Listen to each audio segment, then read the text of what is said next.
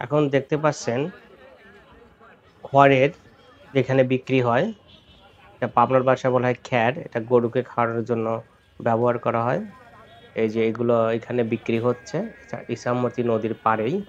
সাঁথিয়া বাজারের পাশে, এটা এখানে বাজার বসতো আগে, ওদিকেও বাজার বসে, আর এখানে খড়গুলো বিক্রি হয়। এই যেগুলো গরু খাওয়ানোর জন্য। ঘাস এবং খড়। আর বাম সাইডে এটা হলো ইসামতি নদী।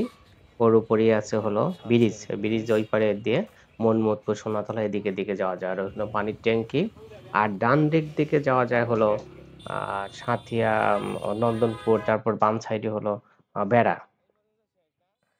আমি এটা সাথিয়া হাই স্কুলের ওইখান থেকে একটু এসেছি নন্দনপুরের ওই দিক থেকে। এই যে এটা বামেই যাবে হলো ওই হাটে।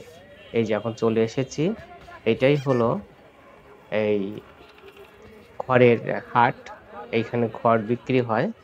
আমি যে ওই দিক থেকে ভ্যান গাড়ি বেশি চলে, আমি ভ্যানে এসেছি ওনা আবার খড় নিতে এসেছে, এর জন্য আমাকে এখানে নামিয়ে দিয়েছে। আমি বললাম আচ্ছা ঠিক আছে খড়ের আমি এইগুলো একটু দেখি।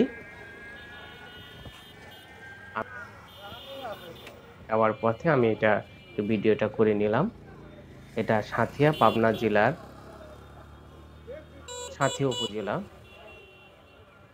আর এই বাম সাইডে এই যে এইখান থেকে হেঁটে গেলেই এই যে যে সিএনজি সামনে আছে দাঁড়িয়ে এইখান থেকে বিভিন্ন জায়গায় সিএনজি গুলো যায়। এই যে ওয়াশার মানে পান, পানি উন্নয়ন বোর্ডের এটা একটা সাইনবোর্ড টানানো আছে। দেখুন, দুই সাইডে ঘাস নিয়ে বসে আছে বিক্রেতারা।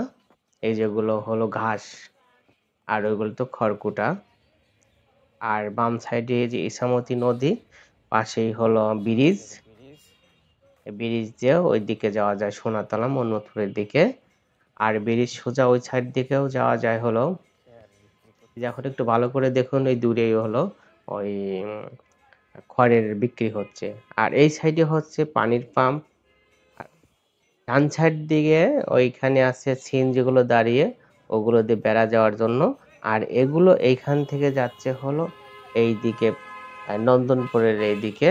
এবং এদিকে মনমতো সোনাতলার এইদিকেও যাচ্ছে ব্রিজ পার হয়ে। আর এটাই হলো মেন সাঁথিয়া রোড এই পর্যন্ত আল্লাহ হাফেজ।